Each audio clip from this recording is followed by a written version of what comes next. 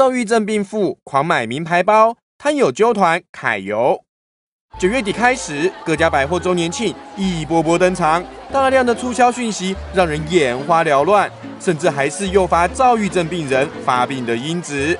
台北市一名四十岁妇人，九月底躁郁症发作，在周年庆期间狂买十几个名牌包，转送给三名朋友，还带着他们转战各家百货，血拼吃大餐，花了三十万元。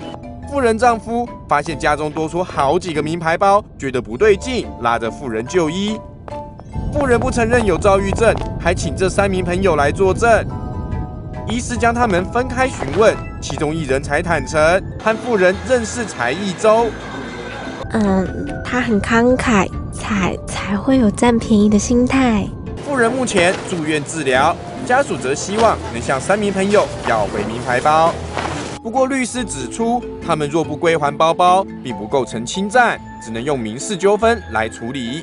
另外，百货业者强调，多数国际精品都不接受退费，只能个案处理，全力协助。